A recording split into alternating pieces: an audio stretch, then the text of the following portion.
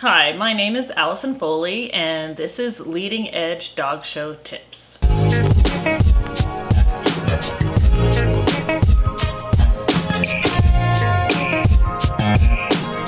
Today we're going to talk about things for people who don't even have a show dog yet. We're going to discuss why you would want a show dog and how you might go about getting one. So why do you think you want a show dog? Did you see Westminster Kennel Club on TV? Or does your mother, father, aunt, brother, cousin, neighbor, friend, do they show their dogs and they come back with all these interesting, fascinating stories from far-flung places with large silk ribbons to show off?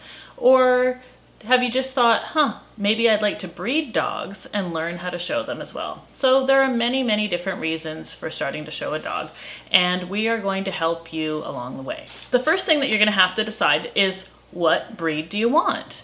Now, there's a difference between owning a breed of dog that might be absolutely fabulous for you, but may not be the kind of dog you envision yourself showing. So a very good example of that is a poodle. Especially standard poodles are great family dogs.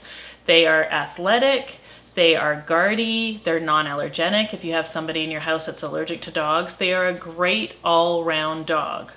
But get them to a dog show and they are a whole other case altogether. They require extensive grooming and very specialized grooming, and you might not be ready to put the time or commitment into grooming that dog. So you might look into another athletic, non-shedding dog that has a lot of great attributes but doesn't have the intensive grooming as a poodle. So that is why it is good not to only research breeds and decide what breed you want, but also see what that breed entails in getting it into the show ring. So in order to find the best dog, not only for your family, but for your family to show, we need to get you to a dog show. So typically if a family decides to get into this sport, there's lots of things that the whole family can do. A lot of times we have either the husband or wife grooming the dog, the other one might show the dog, and the kids can enter in junior handling competitions and go on to many different careers that are involved in the world of dogs. So the easiest and best way to get you to a dog show is to get you to go on to a website called Canuck Dogs. This is found at www.canuckdogs.com. Once you get onto that website, there's going to be provinces listed at the top. You're going to click on your province, then events, then conformation dog shows, and it will give a list in chronological order of the dog shows that are in your area. After the closing date, which is the time that everybody has to be entered, a judging schedule will come up. And on that judging schedule, you'll be able to look at the different breeds of dogs and what time they're going to be on so that if you have a specified amount of time to spend at the dog show, you can look it up and be there at the correct time. You can also spend all day long at the dog show and meet everybody with all the different breeds. So now that we have you and your family at the dog show, there are a few little tips about dog show etiquette that I'd like to share with you to make your experience more enjoyable.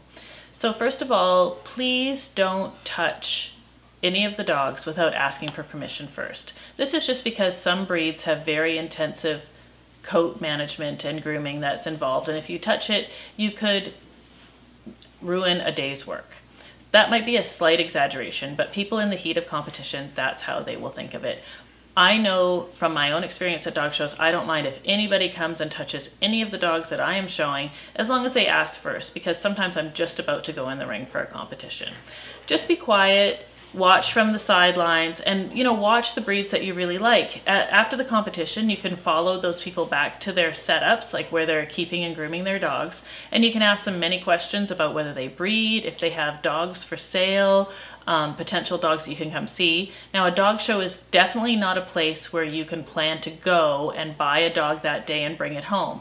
A dog show is where you're going to make those connections to buy a loving show dog and member of your family so in our next video, we're gonna talk more about going to a breeder's house and actually picking out your dog or having a breeder pick a potential show dog for you and what this entails.